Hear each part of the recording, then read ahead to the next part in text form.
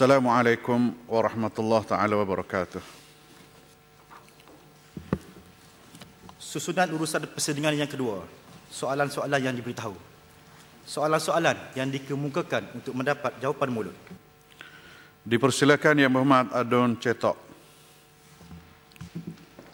Assalamualaikum warahmatullahi wabarakatuh. Saya mohon jawapan bagi soalan saya nombor satu. Assalamualaikum warahmatullahi wabarakatuh. Yang berhormat Datuk Speaker, uh, untuk makluman ahli-ahli yang berhormat, uh, kerajaan negeri melalui pejabat uh, pejabat tanah dan jajahan di seluruh negeri sentiasa memantau uh, pelanggaran syarat-syarat tanah uh, milik uh, yang uh, dilakukan oleh uh, tuan punya uh, dan pelanggaran syarat ini dikategorikan di bawah uh, peruntukan Seksyen 127, 128 dan 129 Kanun Tanah Negara 1965. Uh, pemilik-pemilik tanah yang melanggar syarat-syarat ini dinasihatkan untuk uh, membuat perubahan uh, syarat ataupun status tanah di pejabat-pejabat tanah yang berkenaan. Dan bagi memudahkan proses pertukaran syarat status tanah ini, pihak kerajaan negeri telah mengambil beberapa langkah antaranya ialah dengan meningkatkan ataupun mempertingkatkan sistem perkomputeran Uh, di pejabat-pejabat tanah dan jajahan di seluruh negeri bagi memudahkan urusan uh, semakan dan juga uh, proses kelulusan. Yang kedua ialah dengan menambahkan bilangan pembantu tadbir di pejabat-pejabat tanah dan jajahan terutamanya di pejabat tanah dan jajahan yang banyak kes-kes uh, ataupun permohonan-permohonan untuk uh, uh, menukar syarat. Yang ketiga ialah dengan meningkatkan kecekapan dan kebolehan para kaki tangan uh, dan juga uh, petugas-petugas melalui kursus-kursus kemahiran yang diadakan dari semasa ke semasa. Yang keempat ialah dengan apa ni mengarahkan kaki tangan pentadbiran supaya mematuhi uh, piagam pelanggan agar proses permohonan dan kelulusan ini dapat diselesaikan dalam tempoh yang ditetapkan. Terima kasih. Sila kelaporan.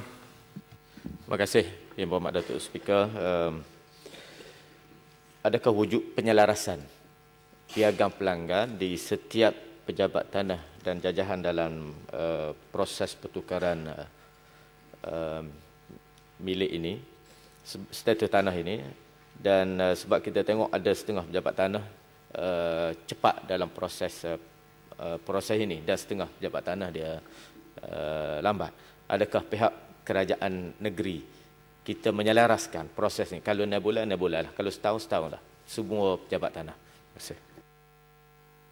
Ya, Bapak Datuk Speaker untuk maklum Malia Berhormat memang di segi piagam pelanggan ini kita selaraskan uh, di seluruh negeri.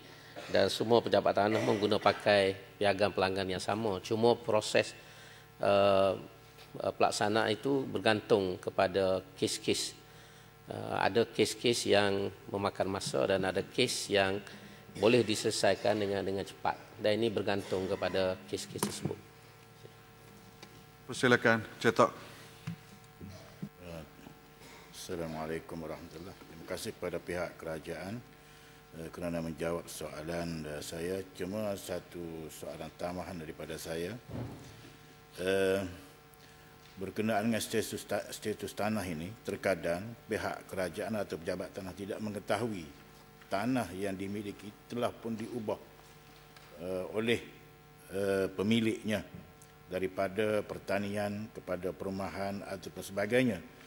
Jadi apakah uh, cara ataupun uh, uh, dasar kerajaan untuk mengenal pasti tanah-tanah yang telah bertukar milik yang belum dibuat permohonan oleh pemilik. Ya, Bapak Datuk Speaker, saya agak keliru sikit dengan soalan uh, mana-mana tanah yang diubah syarat melalui proses uh, di pejabat tanah memang ada dalam rekod uh, pejabat tanah dan ada agak pelik lah kalau pejabat tanah tidak tahu pertukaran status ini kerana semua direkodkan di dalam uh, fail yang berkenaan.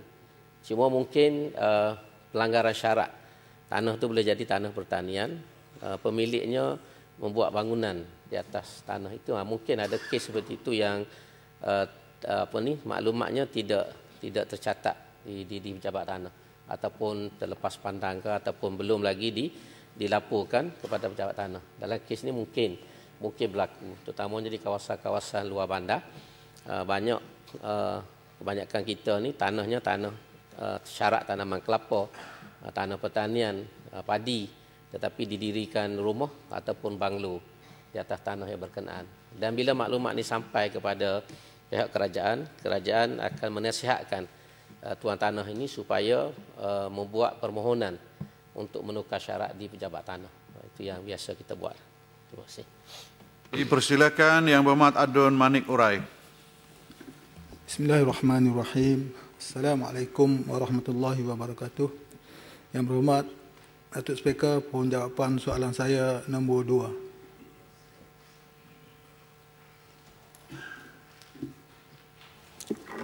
Assalamualaikum warahmatullahi taala wabarakatuh. Yang berhormat Datuk Speaker, Jambatan Sungai Durian adalah terletak di, di laluan Jalan Persekutuan Kota Baru, Kuala Kerai.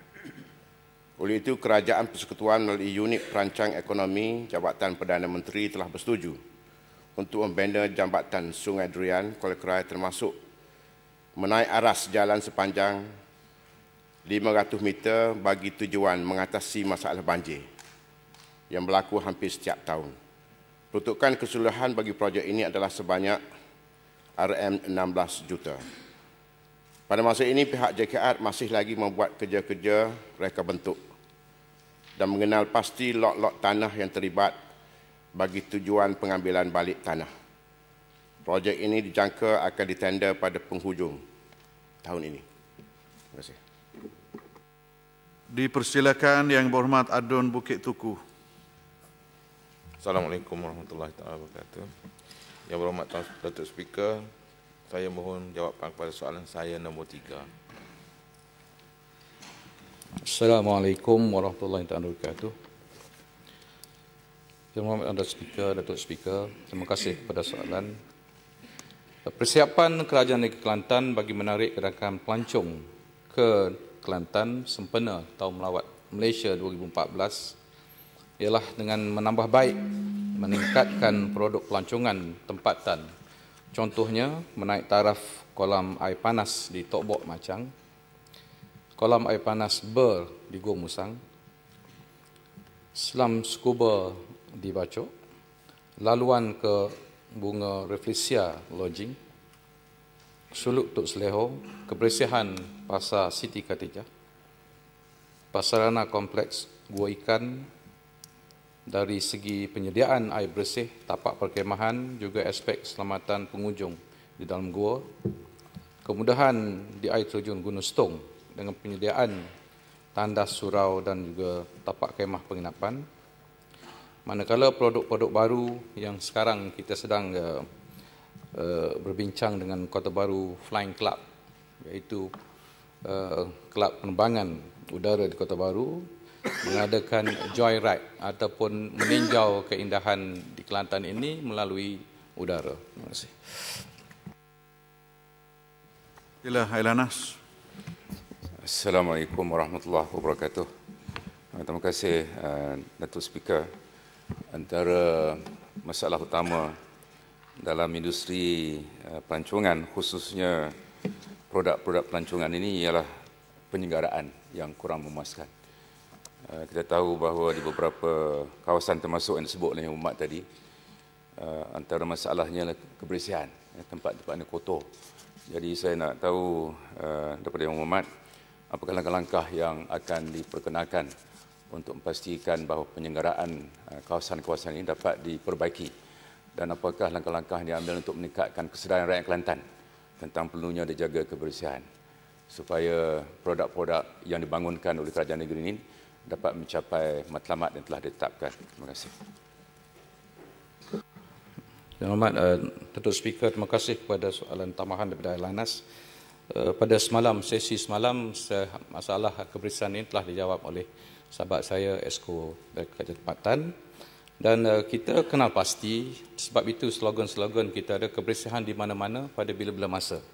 Di signboard kita dan juga tempat-tempat pelancongan ini khususnya kita uh, pemain-pemain industri pelancongan ini telah mengenal pasti. Dan sehubungan dengan itu kita telah meningkatkan uh, infrastruktur dan juga kebersihan di tapak-tapak uh, di kawasan pelancongan kita termasuk di tepi-tepi sungai ya kita telah mengadakan uh, beberapa mesyuarat dengan pihak PBT untuk uh, mengatasi masalah ini. Terima kasih. Sila Pula Condong. Terima kasih Datuk Speaker. Adakah kerajaan bercadang untuk menjadikan seni silat sebagai suatu daya tarikan utama bagi negeri Kelantan? Yang berhormat uh, Datuk Speaker, terima kasih kepada Pulau Condong. Memang kebudayaan di negeri Kelantan ini berbagai-bagai warisan daripada pusaka tok nenek kita lagi. Dan uh, seni silat ini merupakan uh, satu cabang selain daripada seni pertahankan diri, seni silat Kelantan khususnya juga mempunyai satu uh, perkara yang turun-temurun ya, diadakan dan kita bagi pihak kerajaan telah mengadakan jawatan kuasa khususnya dinamakan jawatan kuasa seni silat Kelantan ya.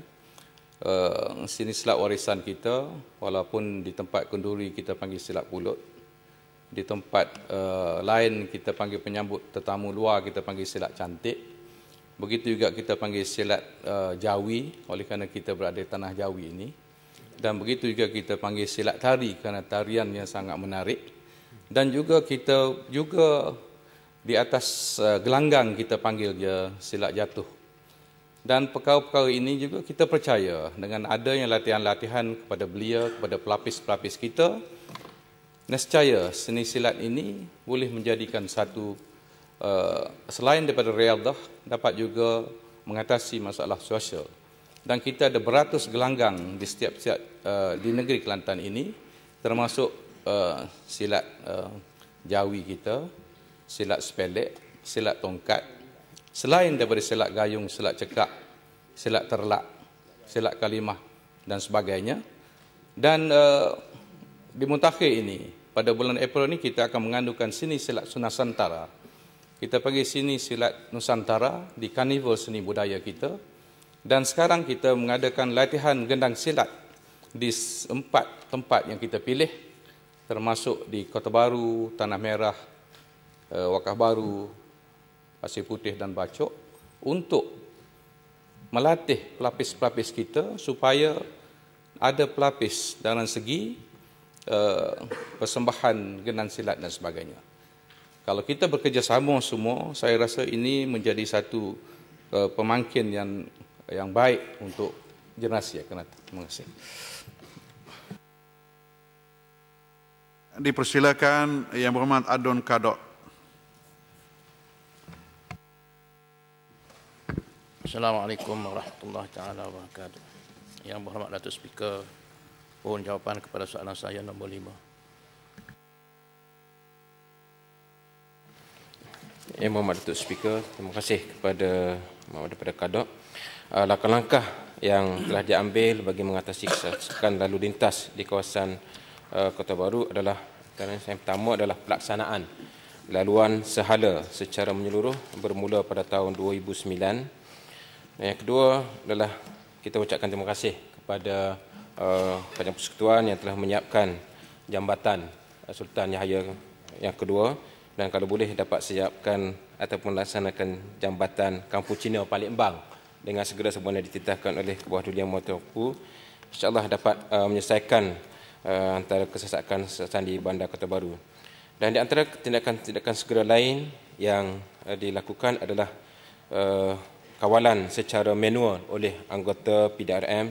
Ini kita ucapkan banyak terima kasih kepada PDRM dan juga uh, memperbaiki uh, lampu-lampu isyarat yang rosak hasil daripada uh, maklumat uh, pengguna-pengguna.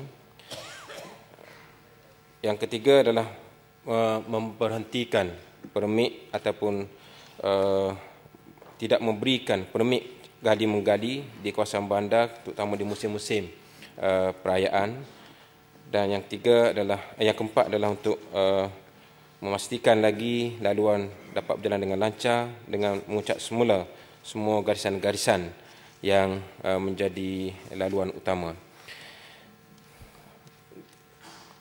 Bagi soalan yang kedua, kerajaan ataupun MPKB BRI sentiasa berusaha untuk menyediakan kemudahan yang terbaik kepada warga bandar Kota Baru serta pengunjung bandar.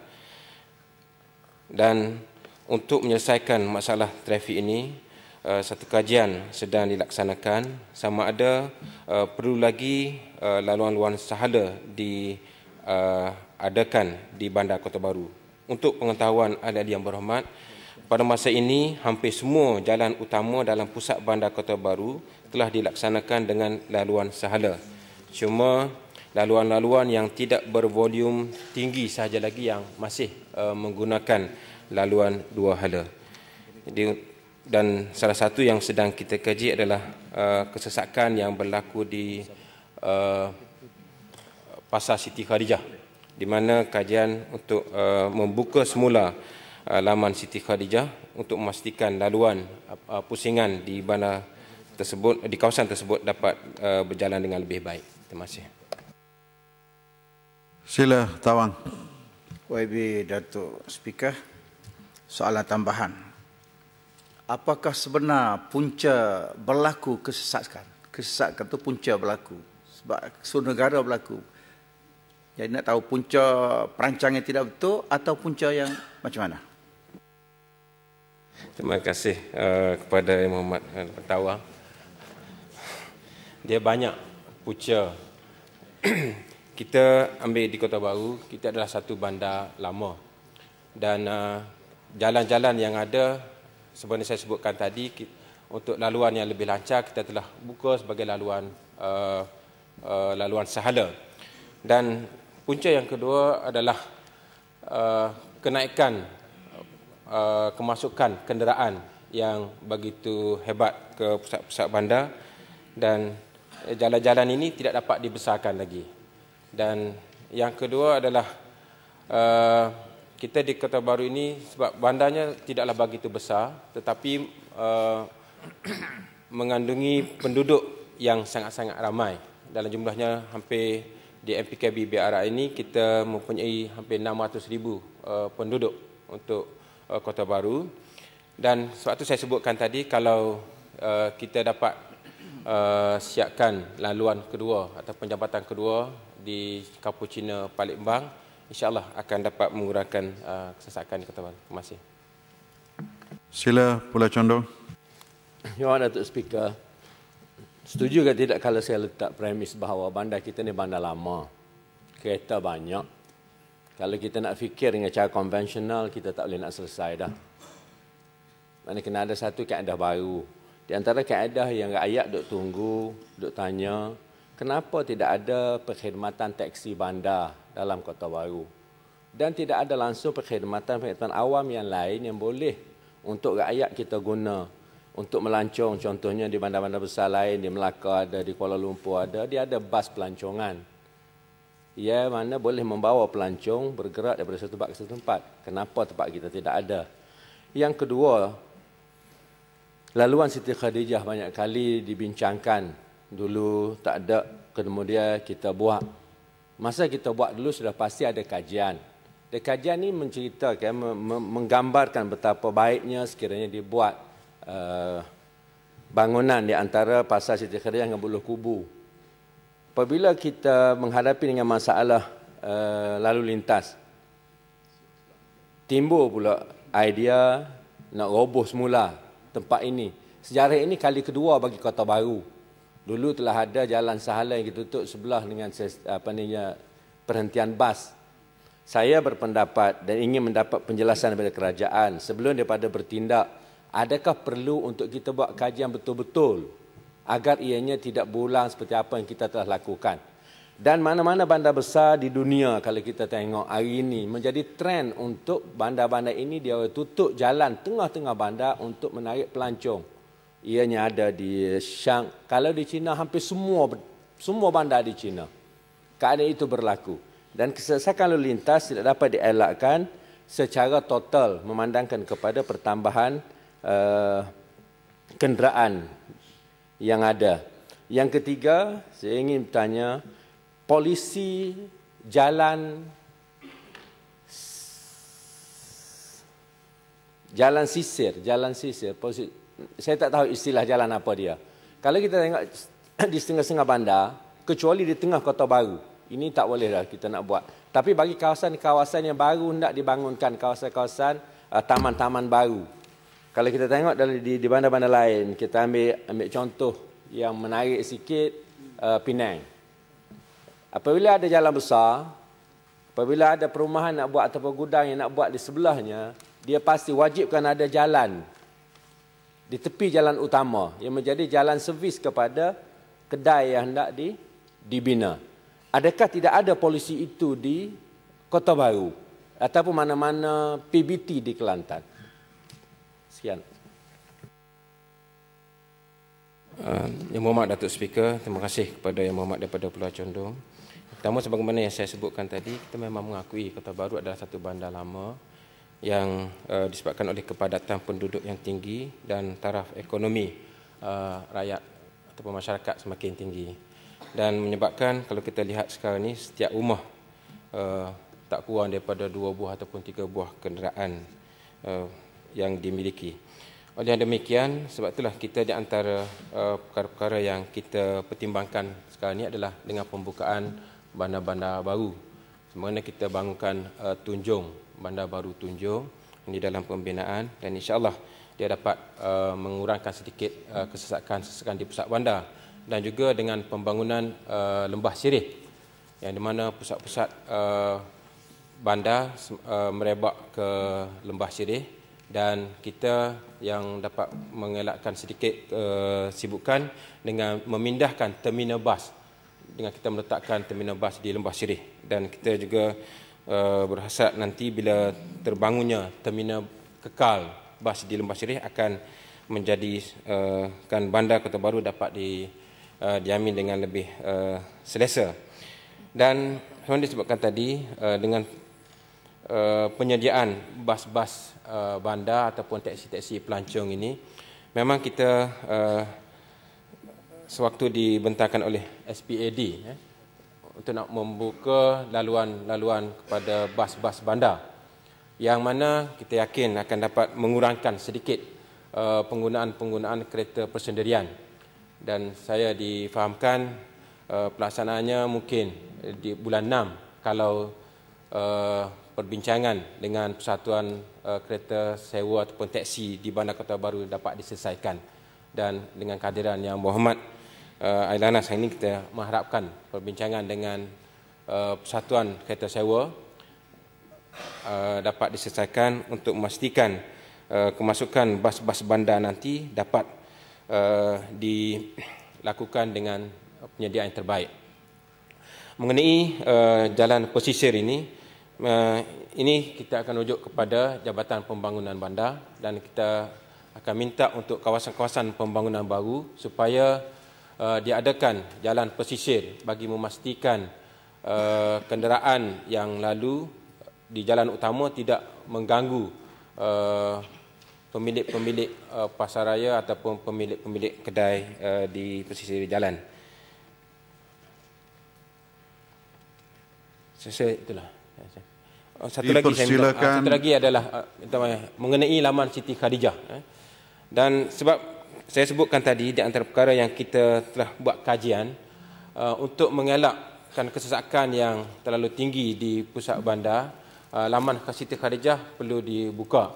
Itu di antara satu kajian yang telah dibuat. Dan insya-Allah kalau hari ini yang dewan minta untuk kita buat satu kajian baru dan insya-Allah kita akan buat satu kajian baru untuk uh, sama ada uh, perlu ataupun tidak sebenarnya laman Siti Khadijah ini dibuka bagi memastikan kelancaran laluan di pusat bandar Ketawan. Terima kasih. Dipersilakan Yang Berhormat Adun Kok Lanas untuk soalan nombor empat. Uh, saya ucap terima kasih banyak kepada Datuk Speaker yang bijaksana yang sanggup undur selangkah memberi peluang kepada saya. Uh, pohon jawapan kepada soalan nombor empat. Bismillahirrahmanirrahim. Alhamdulillah Rabbil Alamin. Wassalatu wassalamu ala ashrafil anbiya wal mursalin Wa ala alihi wa sahbihi ajma'in.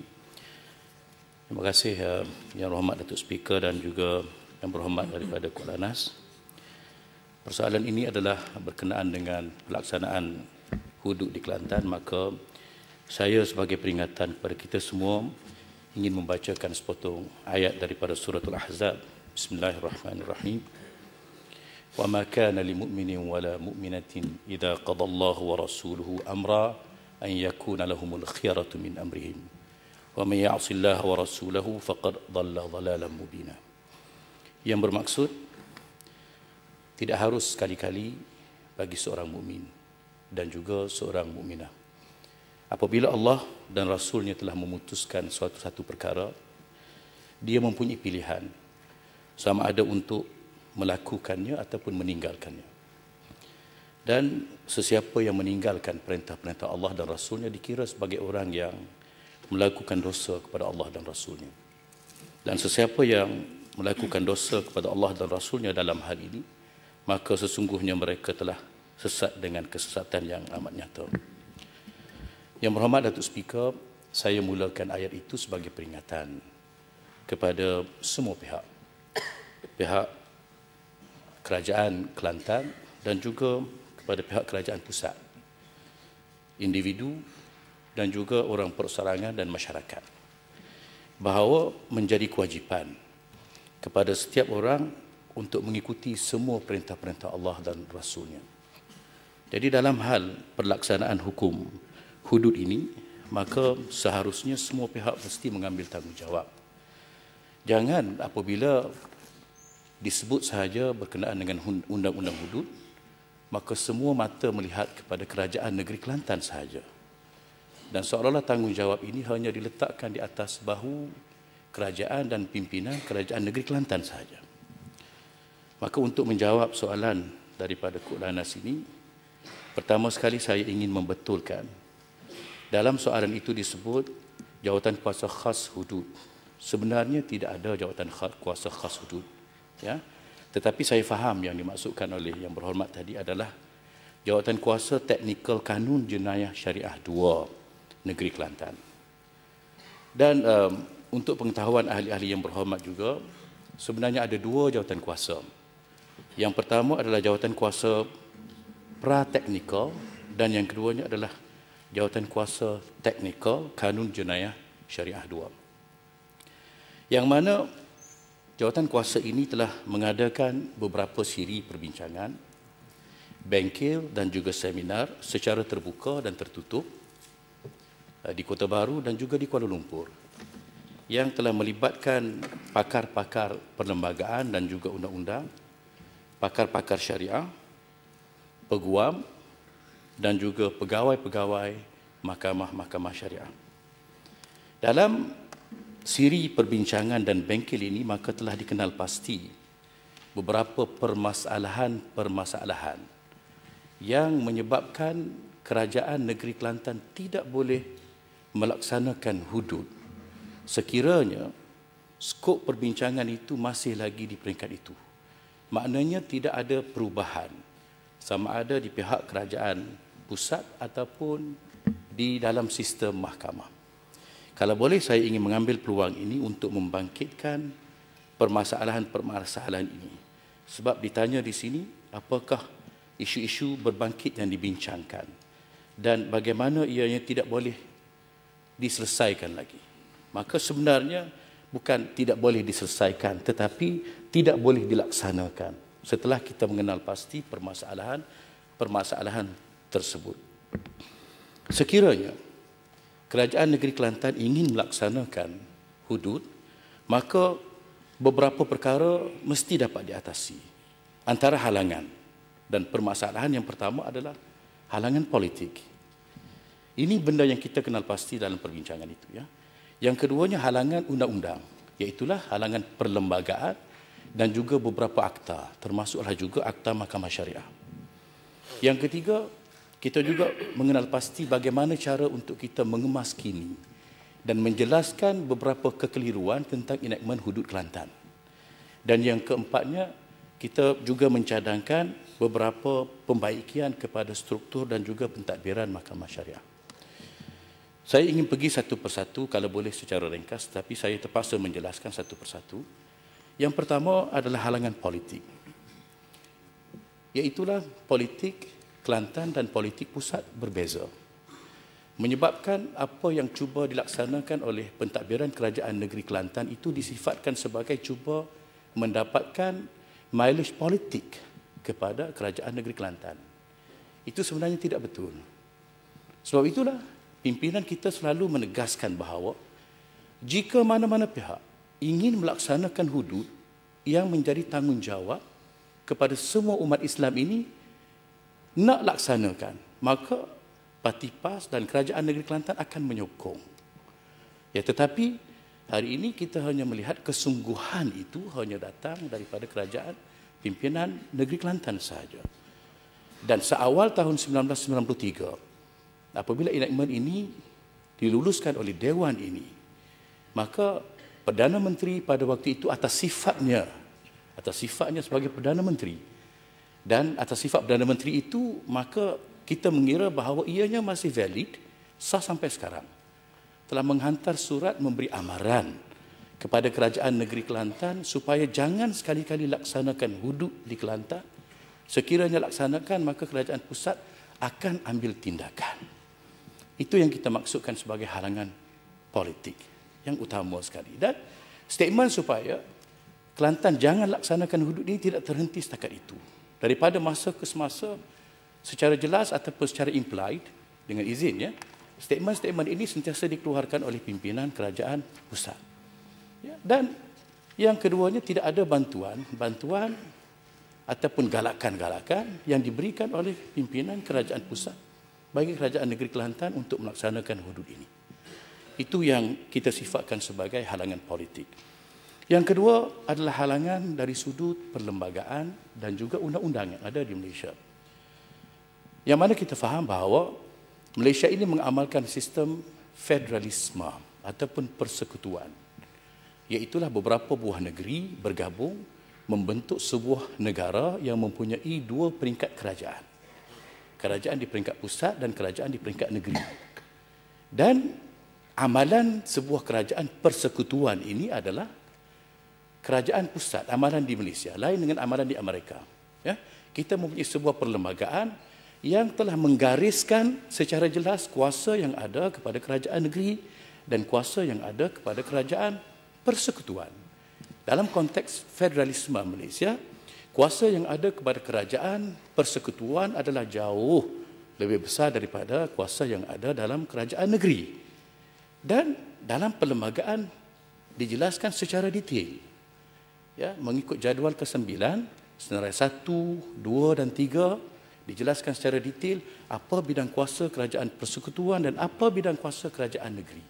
Dan diperuntukkan pula dalam beberapa peruntukan 74 75 yang menyatakan bahawa sekiranya berlaku pertindihan ataupun pertentangan antara kerajaan persekutuan dengan kerajaan negeri berhubung dengan membuat undang-undang maka undang-undang yang dibuat oleh kerajaan persekutuan hendaklah prevail ataupun mengatasi undang-undang yang dibuat oleh kerajaan negeri. Itu senario yang ada. Jadi dalam konteks ini dalam bab hukum jenayah syariah ya kesalahan-kesalahan jenayah syariah itu malangnya semuanya diperuntukkan kepada kerajaan persekutuan dan undang-undang persekutuan iaitu ada penal code kanun keseksaan telah memperuntukkan kesalahan-kesalahan tersebut beserta dengan hukuman-hukumannya kerana ia memang terletak dalam bidang kuasa kerajaan persekutuan maka dengan ini jawatan kuasa ingin mencadangkan jawatan kuasa teknikal tadi ingin mencadangkan bagaimana caranya kalau Kelantan ingin laksanakan Maka mula-mula sekali, mula-mula sekali. Halangan yang pertama adalah halangan perlembagaan itu sendiri. Iaitulah yang pertama, perkara tiga perlembagaan. Iaitulah penafsiran berhubung dengan Islam sebagai agama rasmi negara. Perlembagaan persekutuan perkara tiga menyebut sebagai Islam sebagai agama hendaklah menjadi agama rasmi persekutuan. Tetapi agama-agama lain boleh diamalkan dengan bebas dan harmoni di mana-mana bahagian dalam persekutuan. Malangnya, malangnya, perkataan Islam sebagai agama rasmi persekutuan itu tafsirannya kita sampai hari ini masih lagi mengikut tafsiran sebagaimana yang dikehendaki oleh penggubal perlembagaan iaitulah penjajah. Yang mana sampai hari ini amalan kita begitu juga mahkamah mengambil kira bahawa Islam sebagai agama rasmi has nothing to do with Islamic State or Islamic law dengan izin. Islam sebagai agama rasmi tidak sekali-kali menjadikan Islam sebagai agama dan juga anutan dan juga undang-undang bagi negara. Dia hanya bermaksud bahawa Islam hendaklah menjadi agama ritual yang bermaksud apa sahaja majlis-majlis rasmi yang dikendalikan oleh kerajaan maka sekiranya ada doa maka doa itu hendaklah mengikut doa Islam. Itu sahaja. Ini adalah kerana sewaktu menggubal perlembagaan itu ada satu memorandum yang telah diutuskan oleh Parti Perikatan pada waktu itu yang meminta supaya dimasukkan suatu peruntukan. Peruntukan itu berbunyi, agama bagi Melayu itu adalah agama Islam. Pengakuan dasar ini tidaklah akan bermakna sebarang tegahan ke atas warga negara yang bukan Islam pada menganut dan membuat ibadat mengikut agama masing-masing. Dan tidaklah akan membawa pengertian bahawa negara ini bukannya sebuah negara keduniaan ataupun sebuah negara sekular. Maka bermula daripada situlah pengamal undang-undang kita, ahli-ahli politik kita, mahkamah kita mengambil kesimpulan bahawa perkara Tiga, Islam sebagai agama rasmi tetap juga tidak menjadikan Malaysia sebagai negara Islam. Sebaliknya adalah negara sekular. Ya, Datuk uh, Speaker, maka kita ingin mencadangkan supaya per, perkara tiga ini hendaklah diberi penafsiran yang baru. Sebagaimana yang dicadangkan oleh para pengamal undang-undang akhir-akhir ini termasuklah saya boleh sebut namanya antaranya adalah Profesor Abdul Aziz Bari yang menyebut bahawa jangan kita terikat dengan tafsiran yang diberikan oleh penjajah. Kenapa kita tak tafsirkan sebagai Islam mengikut penafsiran agama Islam yang bermaksud agama yang syumu dan tidak terhad kepada seremonial dan uh, ritual semata-mata. Maka dengan sendirinya menjadikan Islam dan syariahnya sebagai anutan negara dan tertolaklah pegangan bahawa Malaysia adalah sebuah negara sekular. Kalau disebut dalam perlembagaan, Islam sebelum adalah agama bagi persekutuan bermaksud segala ajaran-ajaran Islam itu menjadi ajaran bagi negara Malaysia termasuklah juga soal undang-undang yang di dalam juga adalah ada hukum hudud. Ya, ada beberapa kes mahkamah yang mana para hakim telah memberanikan diri untuk memberikan tafsiran yang sebegini ya kepada perkara tiga. Antaranya dalam kes Miur Atikur Rahman lawan Fatimah Sihi uh, dan juga kes Latifah Makzin melawan Rusmawati dan juga kes Lina Joy. Begitu juga yang terakhir dalam kes Sulaiman Takrib melawan Majlis Agama Islam Terengganu. Saya ambil kes Sulaiman Takrib melawan Majlis Agama Islam Terengganu. Mahkamah Persekutuan memutuskan bahawa Principles of Islam di dalam item satu senarai negeri bermakna perintah agama Islam kesemuanya bukan hanya hukum Islam saja. Jadi sepatutnya penghakiman ini dia dijadikan sebagai suatu dasar bagi negara kita. Dengan ini bermaksud Islam agama rasmi termasuklah semua ajarannya termasuklah juga undang-undang hudud itu sendiri. Itu cadangan jawatan kuasa yang pertama. Yang kedua, bidang kuasa negeri dan persekutuan yang telah diperuntukkan oleh perlembagaan persekutuan yang menyebabkan kita tidak boleh melaksanakannya. Jadual ke-9 perlembagaan persekutuan memperuntukkan tiga senarai, satu, dua dan tiga. Senarai persekutuan, senarai negeri dan juga senarai bersama. Parlimen boleh menggubal undang-undang yang ada dalam senarai, senarai persekutuan dan bersama. Begitu juga negeri boleh menggubal undang-undang yang ada dalam bidang kuasa negeri dan juga bersama. Walaupun telah ditafsirkan prinsip of Islam adalah sebagai perintah agama Islam, Dewan Undangan Negeri masih lagi terhalang untuk menggubal undang-undang hudud seperti mencuri kerana ia masih lagi tertakluk kepada item 4 senarai persekutuan. Ya. Perkara jenayah adalah dalam bidang kuasa persekutuan kerana ia terletak dalam item 4 ini. Oleh yang demikian, jika undang-undang hudud seperti mencuri ingin digubal oleh undang-undang negeri pindaan terhadap item 4, senarai ini perlu dilakukan terlebih dahulu. Ini kerana artikel 75, perkara 75 Perlembagaan Persekutuan menyebut bahawa sekiranya Dewan Undangan Negeri menggubal undang-undang yang termasuk dalam senarai satu, maka undang-undang yang digubal oleh kerajaan negeri, iaitulah hudud tadi akan terbatal. Maka kita minta supaya peruntukan sebarang peruntukan undang-undang walaupun ianya ada dalam perlembagaan yang dikira boleh mengganggu bidang kuasa negeri maka parlimen hendaklah dianggap ya parlimen hendaklah menganggap peruntukan tersebut terbatal kerana bertentangan dengan semangat itu oleh itu, undang-undang jenayah Islam akan dilaksanakan oleh Mahkamah Syariah ke atas orang-orang yang menganut agama Islam sahaja adalah sepatutnya menjadi hak eksklusif negeri-negeri dalam persekutuan. Seterusnya, jawatan kuasa mengenal pasti bahawa antara halangannya juga adalah Akta Mahkamah Syariah. Bidang kuasa dalam kurungan 1965 pindaan 1984 yang menghadkan kuasa Mahkamah Syariah. Kuasa mahkamah syariah yang ada pada hari ini dikawal oleh akta mahkamah syariah ini. Ya?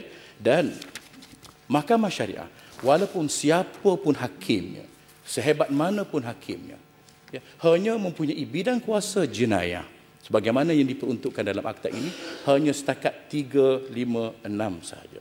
Iaitulah boleh mendenda setakat 3 tahun penjara maksimum, RM5,000 denda ataupun enam kali sebatan ataupun kombinasi ketiga-tiganya.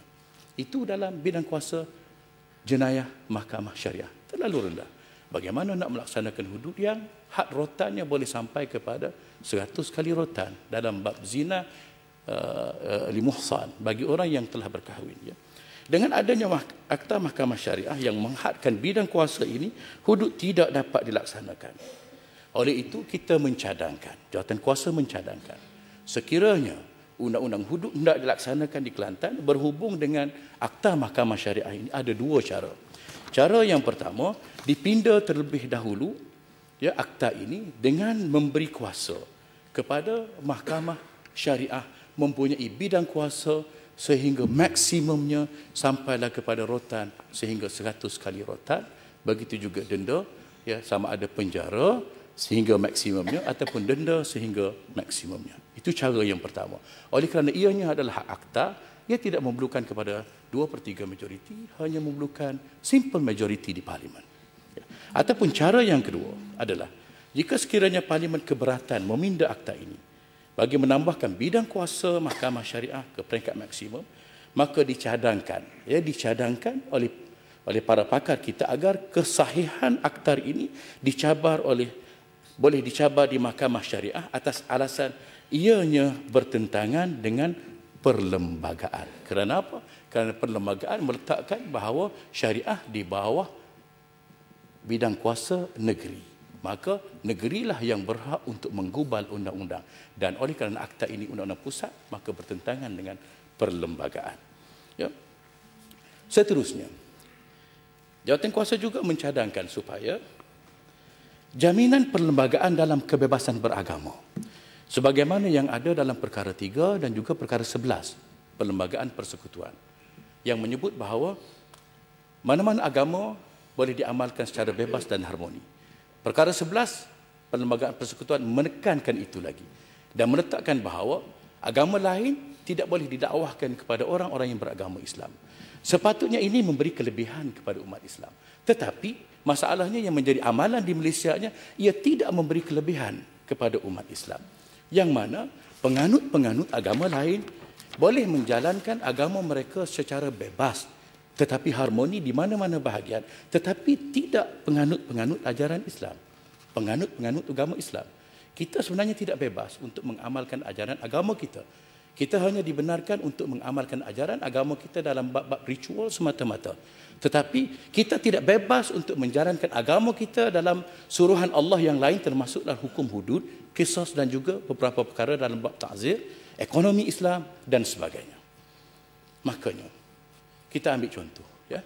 Kalau orang lain boleh menyebarkan agamanya dengan bebas dengan syarat tidak menyebarkan agamanya kepada orang Islam, tetapi penyebar-penyebar agama Islam para pendakwah kita, para mubalik kita disekat dengan bermacam-macam akta. Hendaklah mempunyai tauliah dan sebagainya. Maka kita ingin mencadangkan, jawatan kuasa ingin mencadangkan bahawa peruntukan perkara 11 kurungan 1 dan 11 kurungan 4 ini sepatutnya memberi kelebihan kepada agama Islam. Di samping orang-orang bukan Islam bebas mengamalkan ajaran agama masing-masing, maka orang-orang Islam lebih berhak untuk mengamalkan ajaran agamanya maka ia hendaklah ditafsirkan sebagai bermaksud orang Islam bebas mengamalkan keseluruhan agamanya termasuklah dalam undang-undang diri, dalam undang-undang masyarakat, dalam undang-undang negara, termasuklah juga dalam undang-undang jenayah syariah. Itu antara cadangannya. Lagi cadangan adalah cara yang paling mudah. Cara yang paling mudah perlu pindah perlembagaan. Tidak perlu pindah mana-mana akta. Tetapi menggunakan peruntukan perlembagaan yang ada yang telah pun disediakan. Sebenarnya dalam peruntukan perkara 76A1 perlembagaan persekutuan. Yang mana peruntukan 76A1 ini memberi kuasa kepada parlimen untuk menggubal undang-undang bagi memberikan kuasa kepada mana-mana negeri dalam persekutuan membuat dan melaksanakan undang-undang walaupun asalnya undang-undang itu terletak dalam bidang kuasa kerajaan persekutuan. Itu cara yang paling mudah. Ya, kalau kita semua ikhlas dalam hal ini, kenapa kita tidak cuba di Kelantan? Kenapa kerajaan persekutuan melalui parlimen tidak membenarkan Kelantan membenarkan Kelantan melaksanakan undang-undang syariah ini dengan menggunakan peruntukan 76A1 ini. Kita tengok apa yang boleh kita buat. Ya, kalau sekiranya ia mendatangkan kebaikan kepada masyarakat, khususnya dalam keadaan negara kita berhadapan dengan ancaman jenayah yang begitu serius.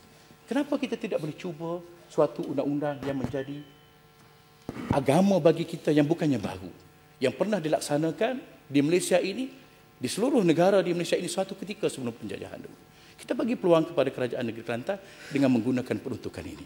Kemudian kalau dilihat di sana sini ada kelemahan, kita sama-sama pakat-pakat baiki. Yang Muhammad Datuk Speaker akhirnya, ya, saya ingin juga di sini uh, membentangkan ataupun menjelaskan apa yang pernah dicadangkan oleh uh, Allah Yarham Profesor Ahmad Ibrahim. Ya. Dia kata bukannya susah untuk melaksanakan undang-undang hudud di mana-mana negeri dalam persekutuan ini antaranya dia mencadangkan hendaklah diadakan suatu peruntukan dalam perlembagaan Malaysia yang berbunyi mana-mana undang-undang yang bertentangan dengan undang-undang Islam hendaklah terbatal dan dianggap tidak sah setakat mana yang bertentangan itu ya kalau ikut pengalaman ini telah dibuat di Pakistan dia tidak ubah perlembagaan dia hanya masukkan satu peruntukan sahaja maka daripada masa ke semasa apabila berlaku proceeding di mahkamah, kes di mahkamah, dikenal pasti bahawa ada di antara undang-undang dalam negara tersebut yang bertentangan dengan Islam, maka dengan menggunakan peruntukan itu dia terbatal. Dia akan mengambil masa mungkin 10 tahun. Akhirnya selepas 10 tahun, semua undang-undang yang bertentangan dengan Islam itu terbatal dengan sendirinya. Ya. Yang kedua, Allah Yahram pernah mencadangkan bahawa dengan memansuhkan Seksyen 5 3 dan 5 Akta Undang-Undang Sivil 1956 yang memberi kuasa kepada Mahkamah Syariah merujuk kepada Undang-Undang Inggeris. Sekiranya berlaku lakuna ataupun kelompangan, mengapa kita perlu rujuk kepada Undang-Undang Inggeris? Kenapa tidak rujuk kepada Undang-Undang Tempatan yang sedia ada, khususnya Undang-Undang Islam? Maka Seksyen 3 dan 5 Akta Undang-Undang Sivil ini hendaklah dihapuskan. Yang ketiga, dengan diadakan syarat di semua kanun. Dan akta bahawa jika tidak ada peruntukan di dalam kanun dan akta itu mahkamah hendaklah merujuk kepada undang-undang Islam. Maka dengan sendirinya ya mengambil suatu masa yang tempoh tertentu insya-Allah lama kelamaan berlaku proses islamisasi dalam undang-undang Malaysia. Datuk Speaker, itulah antara beberapa perkara yang telah kita kenal pasti dalam jawatan kuasa ini. Adapun berkenaan dengan kemaskini dan perincian, begitu juga dengan struktur dan pentadbiran mahkamah syariah, itu adalah di bawah bidang kuasa negeri dan Alhamdulillah. Setelah mengambil kira cadangan-cadangan ini, maka kerajaan negeri Kelantan dalam bajet yang dahulu telah memperuntukkan satu juta bagi tujuan untuk mengemaskini dan juga memberikan struktur dan mengemaskini pentadbiran dan mahkamah syariah dan sekarang ini telah ada satu jawatan kuasa yang sedang mengkaji bagaimana untuk mengemaskini dan juga memperincikan peruntukan dalam inak-iman ini supaya tidak ada lagi masyarakat yang terkeliru. Terima kasih. Sila Kulanas. Ah, terima kasih Datuk Speaker dan juga ahli ESCO yang telah memberi keterangan panjang lebar mengenai permasalahan yang dihadapi sekiranya hukum hudud ini hendak dilaksanakan. Suatu penjelasan yang jelas. Tapi sebelum penjelasan dan soalan tambahan saya, saya rasa ada beberapa kesalahan dalam jawatan kuasa itu yang saya fikir. Seingatan saya dalam perlembagaan negara ini tidak ada perkataan agama resmi. Yang adanya ialah Islam is the federal religion. Islam adalah agama persekutuan, bukan agama resmi. The religion of the federation, samalah demikian. Terima kasih kerana membantu. The religion of the federation. Dia tak sebut rasmi. Dan saya pernah berbahas tajuk ini dengan Kapasing. Atas tajuk sama ada negara ini adalah negara sekular atau tidak. Dan saya menggunakan perkataan perlembagaan itu mengatakan bahawa we are not secular state. We are not secular state. Perbahasan itu amat panjang, ada dalam handset. Uh, yang berhormat uh, pada masa itu Salahuddin Ayub membantu saya dalam perbahasan tersebut. Tapi dia quote kes-kes mahkamah dan saya tidak tidak tidak mengaku kalah dalam hal ini dan akhirnya kita kekal dengan mengatakan bahawa ianya adalah the religion of the federal. Dan atas alasan inilah yang berbahagia Aziz Bari uh, dan juga Datuk Ahmad apa ni Allahyarham Ahmad Ibrahim mengatakan bahawa undang-undang hudud ini boleh dilaksanakan. Daripada penerangan yang diberi adalah jelas bahawa kita tidak takut kepada ayat yang dibaca tadi. Ayat yang dibaca tadi ialah kita mesti melaksanakan hukum Islam. Tetapi kita cari alasan, tak kira lah alasan ini daripada kerajaan persekutuan, daripada bekah Perdana Menteri, daripada siapa pun tak kira lah. Tetapi alasan-alasan itu sengaja diadakan ataupun terjumpa di dalamnya uh, bahawa ini boleh menghalang. Tapi is more of a fear factor. Uh, tidak terbatal seorang menteri besar kalau dia laksanakan juga perkara ini. Tak ada peruntukan perlembagaan mengatakan sekiranya kerajaan negeri masih terus melaksanakannya, maka gugurlah kerajaan negeri itu. Tak ada. Jadi halangan-halangan yang diberi terutama sekali nampaknya tadi seolah-olah halangan politik. Pada saya, kalau ianya halangan politik, kalau yang amat berhormat menteri besar boleh membawa rombongan untuk pergi mengenai royalty, yang tersangat kecil kalau dibandingkan dengan hukum hudud, saya fikir kita kita semua, eh, kita semua, kerajaan dan pembangkang bersama-sama bertemu dengan pimpinan pusat untuk mencari kerjasama ini supaya menghilang halangan politik ini. Dan saya amat gembira dengan cadangan-cadangan daripada jawatan kuasa tadi. Maknanya jawatan kuasa itu telah mencadangkan perkara-perkara yang harus dibuat. Soalan tambah saya ada dua. Apakah cadangan-cadangan itu hanya tinggal cadangan atau ianya akan diteruskan untuk membolehkan kita melaksanakannya. Sebab saya, for this matter, saya berpendapat, sekiranya benar ianya halangan daripada pemimpin Islam, saya tak akan berada dalam parti saya. Saya telah bersumpah dalam ucapan dasar UMNO, sekiranya halangan itu datang daripada pimpinan politik dan daripada kerajaan UMNO. Tetapi kita kena fahamkan mereka permasalahan-masalah ini. Banyak yang tak faham. Soalan tambahan saya yang kedua, eh, soalan tambahan pertama, uh, soalan tambahan saya ialah, adakah pemuakafatan FAS dengan DAP ini adalah salah satu cara untuk menghapuskan halangan politik dan juga halangan pelaksanaan hukum hudud. Terima kasih.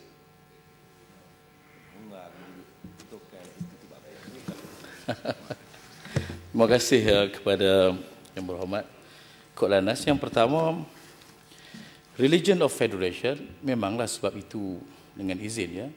itu bermaksud agama bagi federation, agama bagi persekutuan. Tetapi dalam banyak buku-buku undang-undang, sebab saya pernah mengajar undang-undang, ya, dalam banyak buku-buku undang-undang, termasuk dalam buku Sheridan and Grove dan sebagainya, walaupun digunakan dalam bahasa Inggeris, tetapi sentiasa diterjemahkan sebagai agama rasmi bagi persekutuan. Itu yang diterjemahkan. Itu maksud saya. Diterjemahkan begitu, sepatutnya jangan diterjemahkan begitu. Sepatutnya kena ada anjakan paradigma. Ya? Bukan sahaja penterjemahan. Sepatutnya kefahaman juga. Bila dikata sebagai agama persekutuan, agama bagi saya adalah Islam. Bukan bermaksud apabila saya beragama Islam, saya hanya perlu sembahyang, puasa, zakat, haji sahaja. Tetapi juga terkena kepada saya ke semua undang-undang. Begitu termasuk Kenapa kita nak pakai interpretation yang tak kena kepada kita? Kita itu, pakai. ah, itu masalahnya sekarang. Ah, itu saya kata Ah, sebab itu maksud saya sekarang. sebab itu kita kena kita sebagai orang Islam mesti menekan Ah, siapa ti- saja. Itu Terima kasih. saya. Terima kasih. Sebab saya akan pergi ke situ, yang berhormat. Saya akan pergi ke situ. Itu nampaknya sudah ada kesedaran di pihak yang berhormat. Ya. Sebab masalahnya negara ini diperintah oleh Barisan Nasional semenjak kita merdeka sampai hari ini. Tetapi itulah yang diterjemahkan. Itulah yang diterjemahkan. Cuma akhir-akhir ini ada kesedaran di pihak pengamal undang-undang.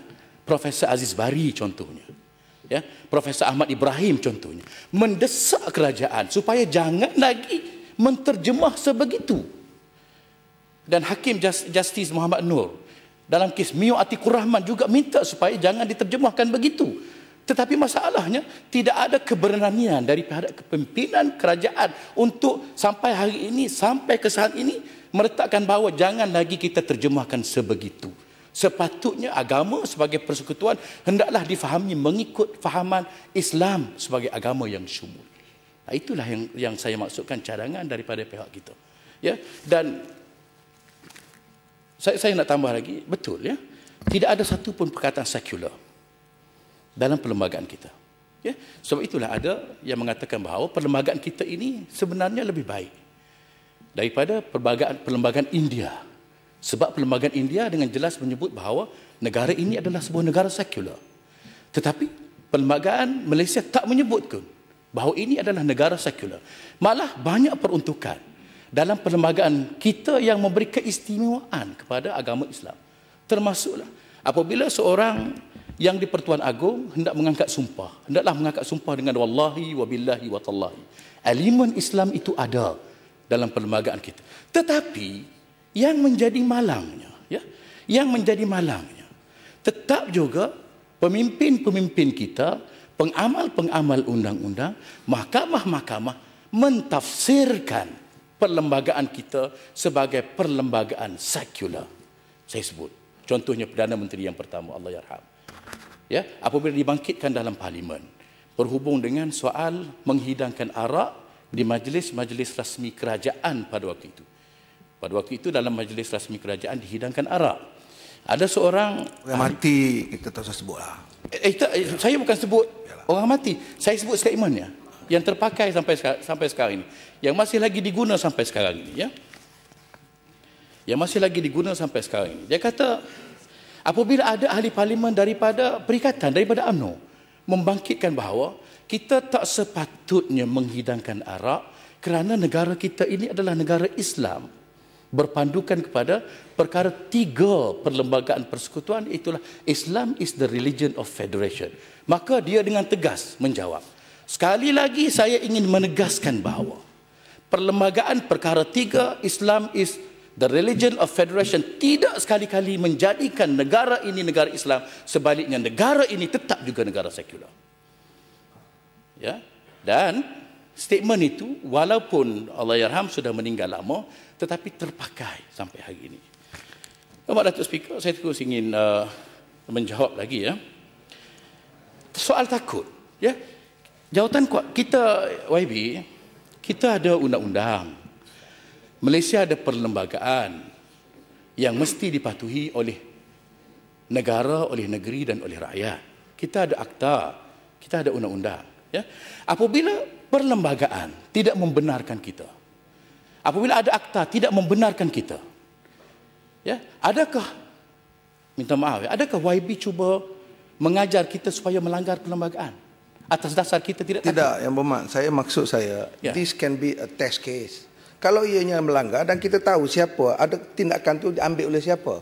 Saya banyak kali disebut dalam perbahasan ini, kita tahu ada halangan, tapi kita buat juga dulu. Kita tahu dah, bukan tak tahu. Kita buat juga sebab tu orang tuduh kita buat kerana politik. Tapi mungkin tuduhan itu dah salah yang bermakna sebut. Sekarang kita ada kesedaran bahawa ada kekangan, kita ada kekangan-kekangan tertentu. Dan sekarang kekangan itu adalah more of a fear factor. Pada saya, biar jadi satu case perundangan dalam negara ini. Let's do it and let's see who fights us. Let's see who fights us. Siapa yang menentang? Siapa?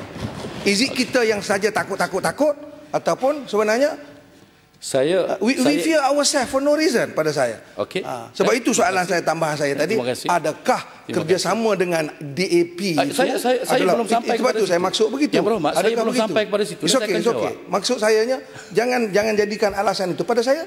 Let's do it. Sebab banyak pengamal undang-undang, banyak hakim-hakim sekarang menunggu, menunggu witra. Terima kasih. Terima kasih. Terima kasih uh, yang berhormat ya. Dia soal politik dan soal undang-undang kadang-kadang boleh bersama dan kadang-kadang boleh berbeza. Ya. Apabila Tun uh, Mahathir memberi amaran kepada kita, kita pernah ingat satu masa dulu apabila ada krisis antara kerajaan negeri dengan kerajaan persekutuan tahun 1977. Ya, maka diisytiharkan Mageran dan kita terlepas negeri ini. Itu tahun 1977 yang berhormat. Dan Muhammad saya jawab. Itu ke? Yang Muhammad takut itu ke? Saya jawab dulu, saya jawab. Ya. Sebab UMNO memang tunggu itu yang berhormat. No, no, no. You're wrong. You're wrong. You are Yang wrong. berhormat, yang berhormat. Wrong, you're wrong. Ini bukan tahun 1977. Yang berhormat uh, Datuk KJ Jamal Yang berhormat KJ Jamaluddin mencadangkan kepada kerajaan persekutuan supaya membenarkan. One of the minister, UMNO tak akan buat. Percaya cakap saya, UMNO tak akan buat. Yang akan buat mungkin parti lain. Mungkin sahabat yang berhormat DAP. Mungkin. Tahun walau, walaupun yang hormat cuba menafikan tahun 19, 1977 pernah berlaku dan juga jangan lupa apa yang berlaku kepada negeri Perak baru beberapa tahun yang lalu. Ya. Ya. Kita bukan masalah takut. Kita kita dididik supaya menghormati undang-undang yang ada. Yang berhormat. Dalam konteks negara kita di Malaysia, orang Melayu dan Islam majoriti. Kita masih lagi memperjuangkan Islam di Malaysia ini mengikut landasan undang-undang. Kita tak pilih cara apa yang berlaku di Baghdad, apa yang apakah berlaku di Syria apakah yang berhormat. uh, apakah uh, soalan uh, alasan-alasan diberi tadi itu mencerminkan pandangan Presiden PAS yang masih ada yang mengatakan bahawa hukum hudud adalah 0.001% sahaja. Walaupun 0.00% sahaja. Maknanya is only tetap about, juga tetap maknanya maknanya maknanya alasan-alasan itu dicari untuk membolehkan jawapan presiden itu di situ ke macam mana? kita eh yang berhormat dalam bab Quran dan Sunnah walaupun satu ayat mesti dilaksanakan. Apa yang nak ditekankan oleh Presiden PAS adalah walaupun 0.01 tapi tetap juga mesti dijalankan. Izinkan saya untuk menjawab seterusnya soalan ya. Yang berhormat. Saya nak tegaskan bahawa kita dilatih oleh presiden kita supaya jangan langgar undang-undang. Terutamanya kita memerintah sebuah negeri. Kita, saya saya minta supaya saya menjawab soalan. Demonstrasi macam mana? Saya minta supaya saya menjawab soalan. Demo, demonstrasi dibenarkan mengikut undang-undang. Demonstrasi dibenarkan mengikut undang-undang. Yang berhormat ya, bukan melanggar undang-undang. Bagaimana kita melihat demo, demonstrasi yang dia- diadakan akhir-akhir ini yang mengikut undang-undang dan tidak dikacau ganggu oleh mana-mana pihak berjalan dengan aman dan lancar yang berhormat ya. Okey. Saya nak menegaskan bahawa kita sebuah negeri, kita memerintah negeri, maka kita perlu tunjuk contoh kepada rakyat bahawa negeri tidak akan melanggar undang-undang. Seboleh-bolehnya kita nak melaksanakan undang-undang Islam ini secara harmoni dan tidak menunjukkan uh, sesuatu yang tidak baik ataupun paksaan kepada masyarakat. Ya, maka kalau begitulah sikap yang positif, saya ucapkan terima kasih ya kepada yang berhormat. Saya ingin uh, uh, uh, Datuk Yang Dibertua membuat ketetapan. Saya ingin mencadangkan untuk membuat ketetapan pada hari ini. Bahawa semua ahli-ahli yang berhormat yang ada pada hari ini menyokong kerajaan negeri untuk melaksanakan hudud di Kelantan dan akan bersama Setuju. Setuju. dan akan bersama dengan kerajaan negeri untuk berjumpa Perdana Menteri meminta izin dan sekiranya kerajaan persekutuan tidak mengizinkan maka semua yang ada daripada parti-parti pembangkang akan keluar daripada Barisan Nasional. Itu apa yang saya dapat faham daripada apa yang disebut oleh Yang Berhormat tadi. Boleh setuju? Terima kasih. Ha? Kalau begitu nampaknya kita ada laluan yang hormat yang hormat Datuk Menteri ya, untuk melaksanakan hudud di Kelantan. Kalau setuju dan keluar Barisan Nasional pun masih ada halangan tersebut. Tak apa. Tak apa. Kita, kita Maknanya tujuannya kita politik jugalah bukan tujuan nak laksana. Pada saya yang sekarang It's not about politik, it's not about pelaksanaan. Betul. pelaksanaan. Itu yang kita tak, setuju. Tak timbullah soal itu. Betul. Soalnya pada setuju. saya, kita mesti menguasai parlimen. Kita mesti menguasai parlimen. Bila kita menguasai parlimen, insya-Allah benda ini. Yang berhormat, kita sudah pun menguasai parlimen yang berhormat. Kita sudah pun menguasai parlimen dan saya katakan tadi, parlimen dikuasai sekarang ini oleh majoriti orang Melayu dan orang Islam. Kenapa? yang berkuasa di parlimen tidak menggunakan peruntukan 76A1.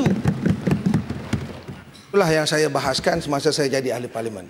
Kenapa Benar, pindaan 121 kalau begitu, tidak Kalau begitu, kalau begitu, maka kita ingin mencadangkan supaya ahli parlimen daripada parti PAS ataupun Pakatan Rakyat akan bawa suatu bil ke parlimen untuk menggunakan perkara perkara 76A1 membenarkan kerajaan negeri Kelantan dan BN mesti berjanji untuk menyokong dan membenarkan meluluskan akta tersebut dengan sokongan wakil-wakil rakyat Barisan Nasional daripada Kelantan.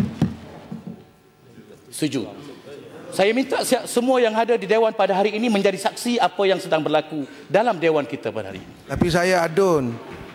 Tak apa, tak apa.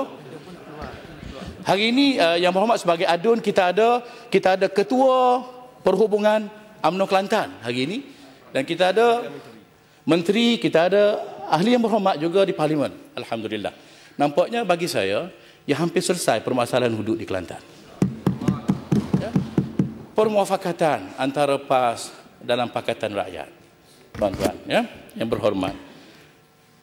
Kalau saya ingin mengambil apa yang yang berhormat sebut semalam dalam dewan ini, saya tak sepatutnya menjawab soalan itu. Ya. Ya, yang berhormat, walau bagaimanapun, permuafakatan dalam Pakatan Rakyat adalah jelas. Kita parti berbeza. Yang mempunyai perlembagaan yang berbeza. Tetapi kita bermuafakat atas perkara yang kita setuju bersama. Dan kita tidak bermuafakat atas perkara yang kita tidak setuju. Bukan semua perkara kita setuju. Dan muafakat kita yang paling utama dalam pilihan raya baru-baru ini adalah menjatuhkan Barisan Nasional daripada tampuk pemerintahan Malaysia. Terima kasih. Dipersilakan Yang Berhormat Adun Bukit Bunga.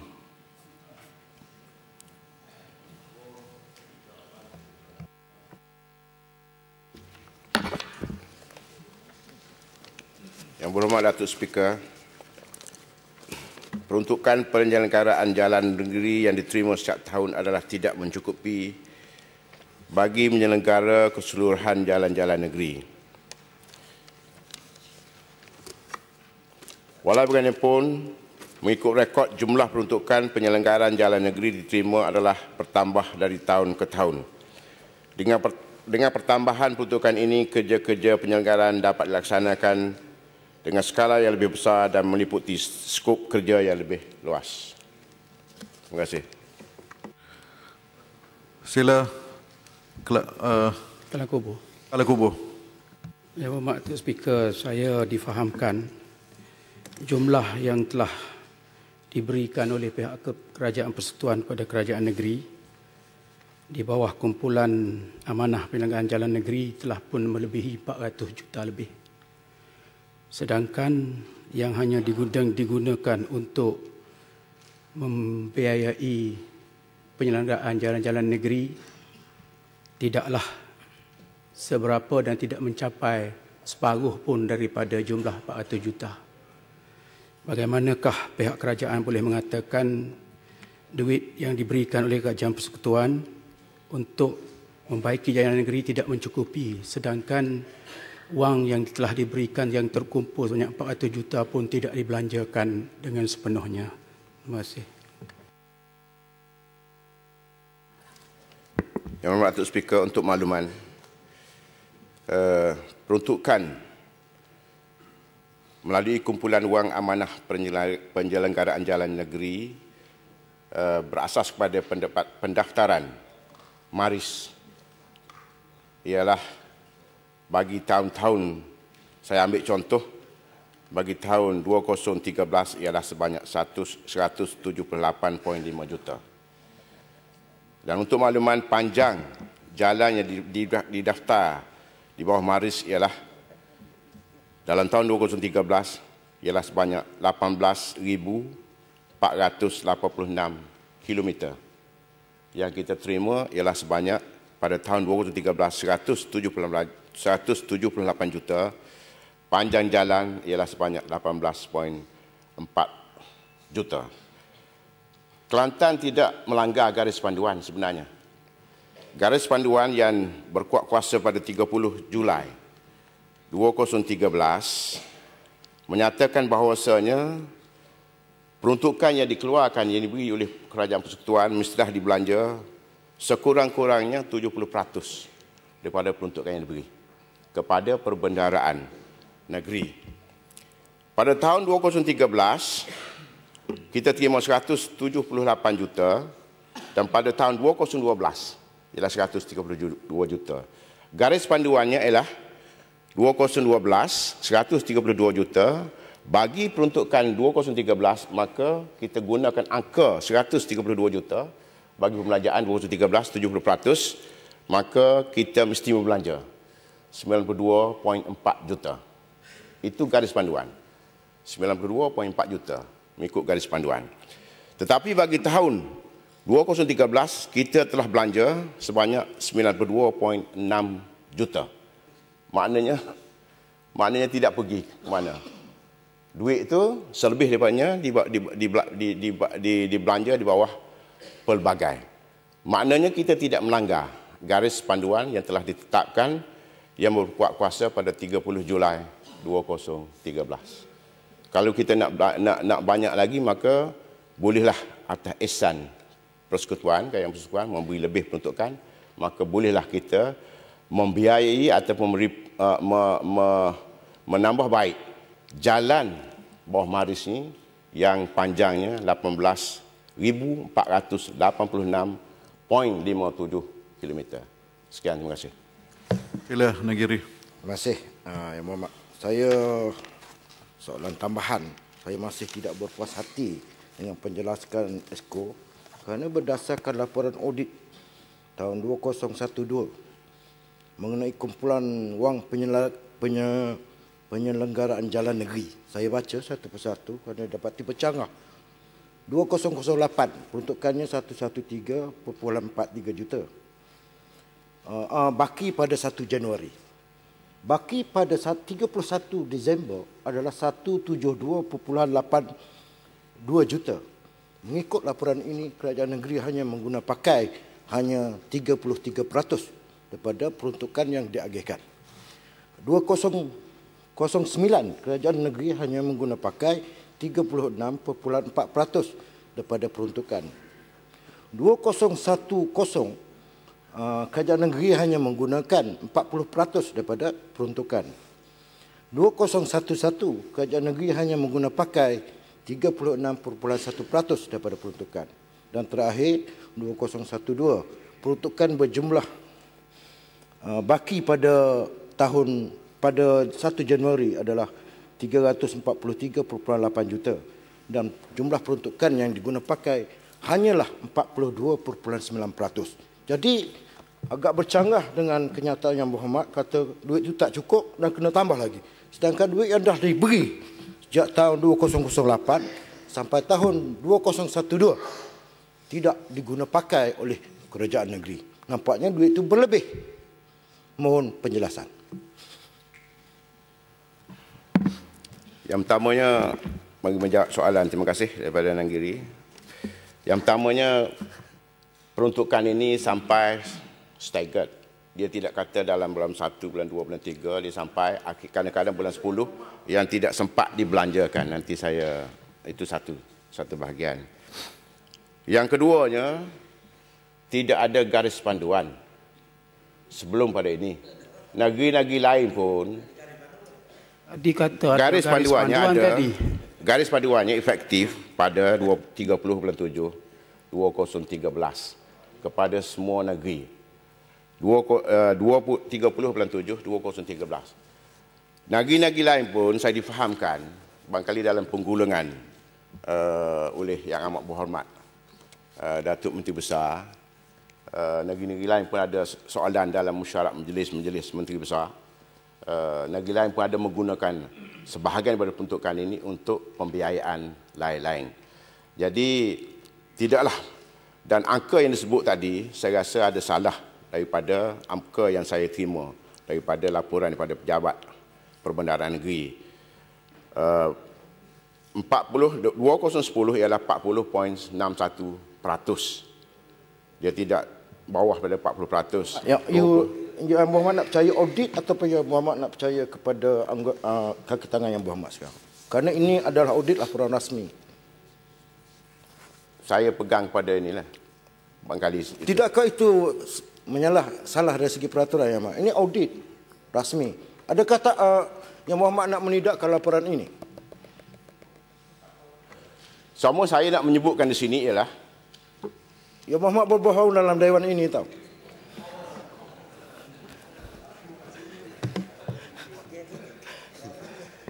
Saya nak sebutkan dalam dawan ini ialah bahawasanya kita tidak menyalahgunakan peruntukan yang diberi oleh kerajaan pusat. Bukan soal menyalahgunakan. Soal yang sekarang uh, yang Muhammad cakap peruntukan tidak cukup. Itu yang diperkatakan oleh Yang Muhammad. Sekarang peruntukan berlebih dan duit tak guna pakai. Dan Yang Muhammad tak menghormati, uh, tak mahu mengikut laporan ini. Ada gini, ha. bukan duit lebih tak guna pakai. Tak guna pakai apa yang duit ni laporan jelasnya Muhammad. Bukan tak guna pakai, yang digunanya ialah peratusnya yang digunakan ialah 2010 40%. Ialah kita Selebih kata daripada sekarang, itu Muhammad. digunakan Peratus penggunaan untuk 42%, bawah daripada 50%. Penjelasan secara jelasnya, kalau kita bagi duit RM1, yang Muhammad pakai 42 sen saja. Cakap, Itu yang jadi pasal yang Muhammad kata uh, tak cukup duit. Speaker, saya nak duduk dulu bagi yang Berhormat cakap habis, saya, saya gulung. Saya- Kalau kita berbahang ini maknanya saya pun tak faham, yang Berhormat pun tak faham. Saya lihat yang Berhormat. Yang Muhammad eh, yang saya bersalah Soalan- yang Muhammad, yang Muhammad kata duit tak cukup. Laporan audit kata duit tak pakai. So kita minta penjelasan daripada yang Muhammad. Apakah mengapakah kenyataan ini bercanggah? Yang Muhammad kata siapa lambat lah peraturan tak uh, tak ada lah peraturan dulu ke duit dulu. Bila kita Okey, katakan okey. laporan ini Okey, kita terima jawapan daripada kerajaan ya, Mamak. Sila duduk ya, Mamak. Terima kasih. Saya bangun, ni jangan bangun lagi lah. Habis ke tidak tu? Habis dah? Cakap lagi speaker uh, suruh saya berhenti. Saya saya nak minta. Jangan celah lah. Ha. Biar saya Kalau habis. tak celah, saya tak puas hati dengan jawapan, jawapan yang Muhammad kerana bercanggah. Dewan ada peraturan ya? Mamak. Ini bukan pasaikan ya, Mamak. Saya tahu bab laporan Nak- yang nak- Muhammad nak bercakap, bercanggah kena minta jalan. audit. Maknanya yang uh, Tuan Speaker, Datuk Speaker, dia melaporkan tidak mengikut laporan sebenar. Kalau tidak mengikut laporan sebenar, ia berbohong. Adakah sila. seorang esko perlu berbohong dalam Dewan Yang Mulia ini? Habis dah? Terima kasih. Okey. Yang pertamanya, kita guna 40% betul. Ataupun 30%, katakanlah. Yang selebih lagi daripada itu, bukan kata tak guna. Digunakan bawah pelbagai. Perkara pelbagai. Kalau dalam tahun 2012, kita guna 56%. Dan audit query lah. Tapi bukan maknanya kita tidak guna daripada uh, kita tidak guna daripada, uh, daripada peruntukan ini 40 4% tidak digunakan. Digunakan oleh kerajaan negeri di bawah pelbagai. Begitu juga tahun 2013 kita guna 63.6%. Bukan kerana bukan kita katakan kita tidak guna selebih pada itu. Kerajaan negeri menggunakan selebih daripada itu untuk projek-projek pelbagai. Boleh tu? Saya saya ada sikit ya nak nak uh, rasa ni sebab duit tu untuk kita selenggara jalan negeri. Jadi yang berhormat Esko kata duit tak cukup untuk selera kerajaan uh, jalan negeri, tak cukup. Tapi kita tak guna untuk buat selenggara jalan negeri, kita guna untuk pelbagai. Sebagai satu contoh, audit ada menegur bahawa ada sejumlah wang digunakan untuk membaiki pejabat.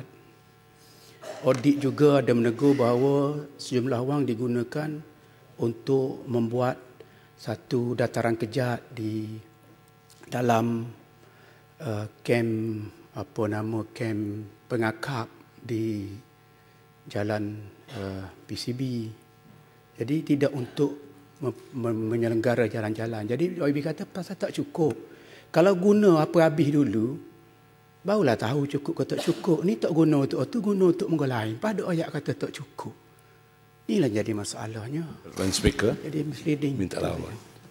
Ya, sila. Bermakna Tuan Speaker, saya ingin memberi penjelasan.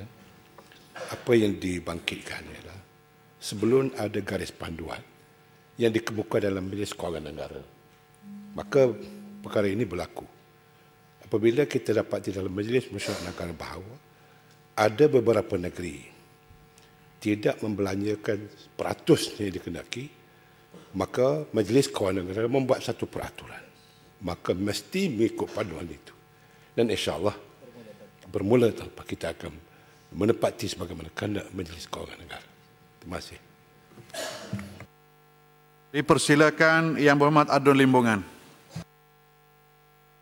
Assalamualaikum warahmatullahi wabarakatuh. Yang Berhormat Datuk Speaker, mohon jawapan bagi soalan saya nombor tujuh. Bismillahirrahmanirrahim. Yang berhormat Datuk Speaker, terima kasih kepada soalan daripada Adun Limbungan. Ya. Jumlah sekolah kelolaan Yayasan Islam Kelantan yang masih menjalankan proses pengajaran dan pembelajaran PNP sehingga tingkatan 3 dan tingkatan 4 adalah uh, seperti berikut iaitulah tingkatan 3 sebanyak 18 buah sekolah dan uh, daripada tingkatan 1 hingga tingkatan 4 adalah 13 buah sekolah. Manakala untuk soalan yang kedua, keupayaan untuk membuka dan membuat penyelarasan agar pengajaran dan pembelajaran di semua sekolah Yayasan Islam Kelantan sekurang-kurangnya pada tahap sijil pelajaran Malaysia dibuat apabila ada keperluan dan tertakluk juga kepada keadaan dan keupayaan semasa. Terima kasih. Dipersilakan Yang Berhormat Adun Gucil. Assalamualaikum warahmatullahi wabarakatuh. Yang berhormat Datuk Speaker mohon jawapan kepada soalan saya nombor 8. Ya, berhormat Datuk Speaker, uh, untuk makluman ahli yang berhormat, uh, jumlah fail permohonan tanah uh, yang tertunggak di seluruh negeri Kelantan mengikut jajahan sehingga tahun 2013 ialah seperti berikut. Uh, Kota Baru 286 fail, Pasir Putih 970 fail, Tanah Merah 3756 fail, uh, Macang 182 fail, Kuala Krai 5725 fail, Pasir Mas 1533 fail, Gua Musang 12554 fail, Bacok 298 fail, Jeli 6333 fail, Tumpat 121 fail. Jumlah keseluruhan ialah 31000 758 fail. Ahli-ahli Muhammad sekalian, eh, bersama kita eh, menyaksikan persidangan pada pagi ini adalah pelajar dan guru dari Sekolah Mahat Muhammadi Pasir Pekan selama 33 orang. Muhammad sekalian, eh, Alhamdulillah kita dapat menyelesaikan sebanyak 8 soalan pada hari ini dan saya berhasrat untuk menangguhkan persidangan dan persidangan akan disambung semula pada jam 10 pagi. Dengan ini persidangan pada jam 11 pagi insyaallah pada jam 11 pagi. Dengan ini dewan ditangguhkan.